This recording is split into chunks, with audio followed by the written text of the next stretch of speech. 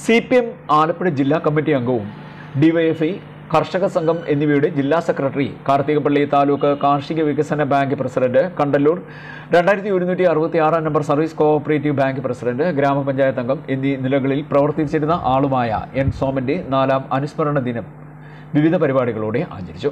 കണ്ടല്ലൂർ പറവൂർ ജംഗ്ഷനിൽ സി ജില്ലാ കമ്മിറ്റി അംഗം ആർ രാജേഷ് ഉദ്ഘാടനം നിർവഹിച്ചു. വലിയ പങ്ക് നിർവഹിച്ച പാർട്ടിയുടെ ജില്ലാ കമ്മിറ്റി അംഗം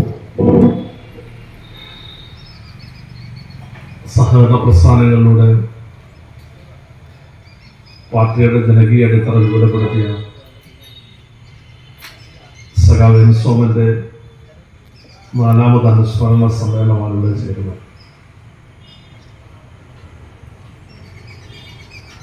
കമ്മ്യൂണിസ്റ്റ് പാർട്ടി കേരളത്തിൽ വളർന്നതും ശക്തിപ്പെട്ടതും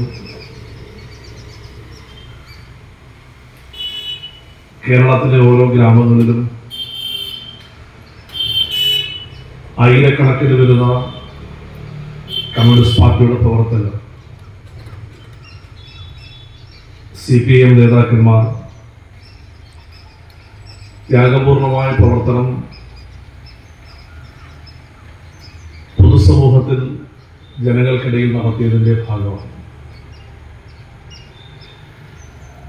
ഓരോ സി പി ഐ എം പ്രവർത്തകരും തന്റെ ജീവിതവും തന്റെ ജീവിതകാലത്തെ ആരോഗ്യവും ബുദ്ധിയും ചിന്തയും എല്ലാം സമൂഹത്തിന്റെ വികാസത്തിനും സാമൂഹ്യമായ പുരോഗതിക്കും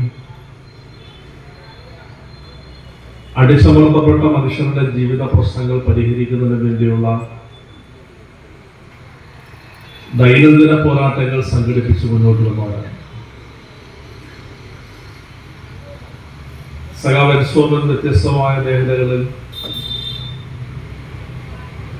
കണ്ടല്ലൂരിലെ കമ്മ്യൂണിസ്റ്റ് പാർട്ടിയെ വളർത്താനും ശക്തിപ്പെടുത്താനും എല്ലാം ത്യാഗപൂർണമായ പ്രവർത്തനം നടത്തിയ നേതാവ് എ. എ. സമദ് അധ്യക്ഷത വഹിച്ചു. P. Ganakumar B. Amin Shah M. Ramachandran A. Ajith C. Ajikumar എന്നിവർ സംസാരിച്ചു. ഇതിനോടനുബന്ധിച്ച് സ്മൃതി മണ്ഡപത്തിൽ പുഷ്പാർച്ചനയും നടത്തി. C D news Kayamkulam.